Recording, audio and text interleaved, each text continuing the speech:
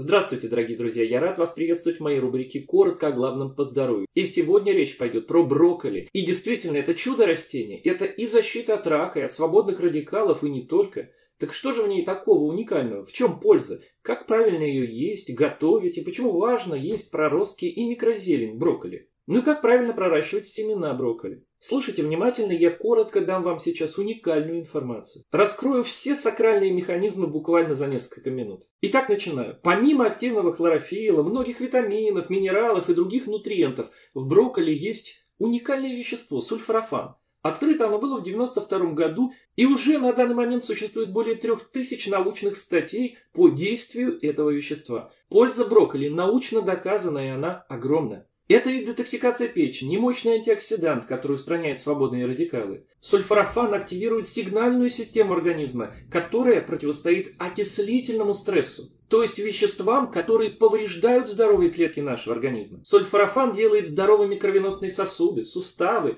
уменьшает вероятность ожирения, сахарного диабета, рака и сердечно-сосудистых заболеваний, а также предотвращает нейродегенеративные заболевания и даже предотвращает аутизм. Сейчас сульфорафан один из самых изучаемых нутриентов современности. И есть он во многих крестоцветных, это редис, дайкон, горчица, разные виды капуст, и цветная, и брюссельская, но не везде его так много, как в брокколи. И еще также важно понимать, что при варке брокколи сульфорафан не образуется, Потому что его предшественник, протовещество, не активируется. И вот почему и как. В сырой брокколи есть вещество глюкорафанин. И это как раз предшественник сульфорафана. И в вакуолях с клеточным соком брокколи, как и в других крестоцветных, содержится фермент мирозиназа, который выходит и смешивается с глюкорафанином при разжевывании, перемалывании, перетирании и пережевывании капусты. Чем мельче измельчается капуста, тем она дает больше сока, тем больше и активнее работают ферменты, и тем больше образуются вещества сульфорафана. Вот почему, и не только в этом случае, важно любую пищу долго жевать, понимаете? И не только поэтому, а и по причине обработки нашими родными ферментами организма, которые он сам продуцирует. Например, таким ферментом, как птиолин, это слюнная мелаза, я подробно об этом рассказывал в лекции по пищеварительной системе. Так как же быть? Ну, конечно, в идеале есть брокколи сырой. А кто не хочет или не может по определенным причинам, например, проблемам с поджелудочной железой, есть сырую брокколи, как же быть таким людям? Как получить бесценный сульфорафан? Возможно ли это вообще? Да, в данном случае можно. Можно как бы обхитрить порядок процессов природы установленных. И тут есть два варианта. Первый, если вы хотите готовить из сырого, свежего брокколи. А второй, если вы купили замороженный брокколи. Если брокколи свежий, то его надо порезать и подождать около часа. Тогда успеет синтезироваться достаточное количество сульфорафана. А он, сульфорафан, уже сам по себе устойчив к нагреву дальнейшему. То есть он термофильное вещество. И потому, чтобы получить его в большем количестве, до варки на пару, что лучше всего и хуже при варке супа, разрежьте брокколи помельче и подождите хотя бы 40-50 минут до помещения в проварку, ну или кастрюлю. Но вы уже поняли хитрость, я надеюсь, что при нарезании и времени, нужно подождать реакцию, фермент мирозиназа успевает видоизменить вещество глюкорафанин и превратить его в активное вещество сульфорафан. Ну вот тогда и варите, а не нарезал и сразу в кастрюлю. Нарезал – подожди. Еще раз, дорогие друзья, ферменты не держат высокие температуры. Многие из них разрушаются при 40, 50, 60 градусах. И потому сначала надо нарезать, фермент свое отработал, образовался сульфорафан. И вот тогда уже варите. Ну а лучше брокколи есть сырым, как это делаю я, например. То есть при добавлении в салат. Если вы используете блендер, еще лучше. Вы же измельчите до наночастичек. Ферментов будет максимум. Быстрота и качество преобразования и синтеза вещества сульфорафана будет высокая, и тогда можно делать, например, крем-суп. Тем более и долго термически обрабатывать его тогда не нужно. Он и так жидкий. Второй вариант. Если у вас замороженная капуста брокколи. Сульфорафана в ней практически не будет после разморозки и разрезания, потому что промышленно заготовленную и замороженную брокколи до заморозки термически обрабатывают. Она проходит стадию бланширования. И такая предварительно обработанная капуста после разморозки уже не имеет ферменты для необходимого синтеза сульфорафана. То есть ферменты в ней промышленно и намеренно деактивированы бланшированием для продления срока годности и хранения. После разморозки в такой брокколи, в отличие от домашней заморозки без предварительной варки, ферментов нет, и сульфорафан не будет синтезирован. Как вы ее не измельчаете и сколько не ждите. Но, внимание, вещество глюкорафанин в ней еще остается, и потому есть хитрость, когда можно синтезировать сульфорафан. А как же это можно сделать? Да просто добавьте фермент мирозиназу из других крестоцветных. И тут самый лучший вариант – это добавить измельченные листья горчицы, ну, листовой измельченной горчицы, или порошка молотой горчицы семени. Можно взять одну четверть чайной ложки на 150-200 грамм брокколи. А можно добавить вместо горчицы тертый хрен. Тогда фермент, содержащийся в порошке горчицы, и тем более в листья горчицы, активирует глюкорафанин. И тогда синтезируется вещество сульфорафан. Но опять же, надо подождать и только тогда уже варить или тушить. Ну или есть так в составе того же салата. Добавя размороженный брокколи, активированный, ферментированный, уже в салат. И тогда получается, что вы уже едите как будто сырую по эффекту получения организмом сульфорафана брокколи. Но помните, дорогие товарищи, что вообще-то при варке разрушаются очень многие витамины. Например, полностью такие витамины, как витамин С. И минералы переходят в неусвояемую организмом форму. Поэтому лучше есть брокколи сырой, добавляя в салаты.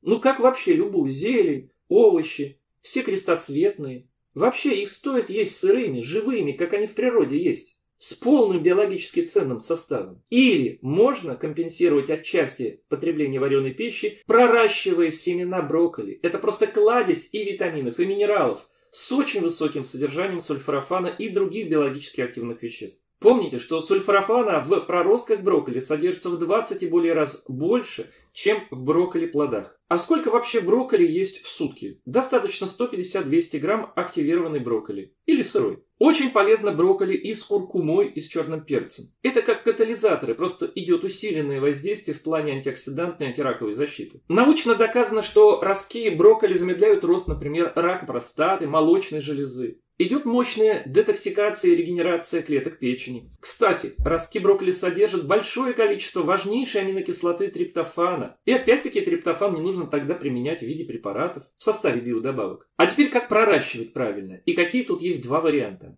Вообще у меня есть мини-инфопродукт на эту тему, давно уже сделан. Как проращивать, чтобы не подцепить инфекции и так далее. Но я вам сейчас расскажу о двух вариантах. Первый, как проращивать 5-6-дневные проростки в банках. И второй, как получать правильно микрозелень. Первый вариант. Нужно просто замочить семена на несколько часов, промыть, обработать небольшим раствором марганцовки, поместить в банки с марлей на горловине, завязав веревочкой или резинкой, растрясти по банке и положить банки плашмя в светлое место. Будет как бы мини-парник. Ну или можно использовать профессиональные или любые домашние бытовые проращиватели. Обрабатывать слабым раствором марганцовки желательно один-два раза в день. В банке должна быть влажная среда. Ну и таким образом проращивать до 5-6 дня прорастания семян. Тогда содержание многих веществ, в том числе витаминов, будет максимальным. Например, витамина С будет в 20 раз больше, чем в спящем семени. А витамин С это не только мощнейшая антиоксидантная защита, но и очень важный витамин для качественной, красивой, здоровой молодой кожи. И опять же в виде таблеток он будет не нужен. Много в проростках брокколи витамина А,